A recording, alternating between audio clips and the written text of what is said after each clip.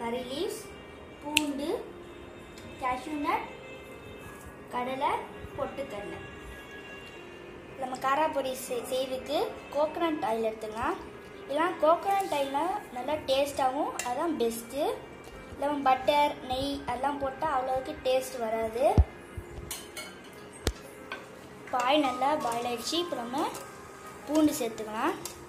பூண்டு நான் லைட்டாக தட்டி வச்சுருக்கேன்.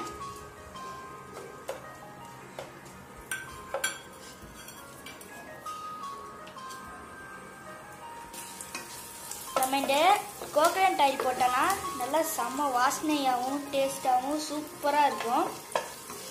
அதான் காராப்பொடிக்கு ரொம்ப ரொம்ப இம்பார்ட்டன்ட் இப்போ பாருங்கள் பூண்டுலாம் நல்லா ஓரளவுக்கு ரோஸ்ட் ஆயிருக்கு.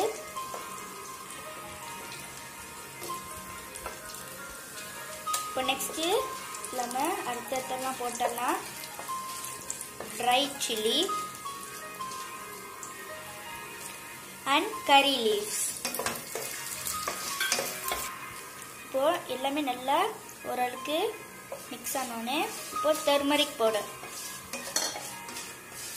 போட்டு மிக்ஸ் பண்ணிக்கோங்க.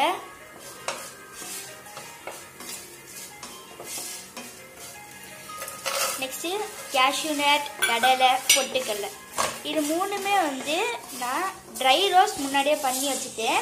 அதனால நம்ம எண்ணெயில் வந்து போட்டு வறுக்கலாம் தேவையில்ல. டக்குன்னு ரெடி ஆயிரும். நம்ம எல்லா மசாலாவும் போட்டாச்சு.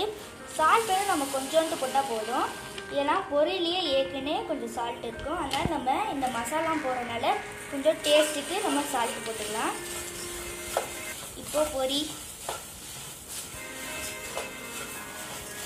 நல்லா மிக்ஸ் பண்ணிக்கோங்க.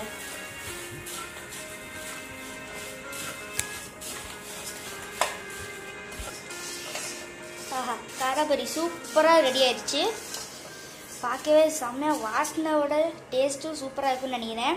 நான் இதை சாப்பிட போகிறேன் நீங்களும் வந்து உங்கள் வீட்டில் செஞ்சு சாப்பிட்டுட்டு கமெண்ட்டில் சொல்லுங்கள் இந்த வீடியோ உங்களுக்கு பிடிச்சிருந்தா லைக் பண்ணுங்கள் ஷேர் பண்ணுங்கள் சப்ஸ்கிரைப் பண்ணுங்கள் தேங்க்யூ பாய்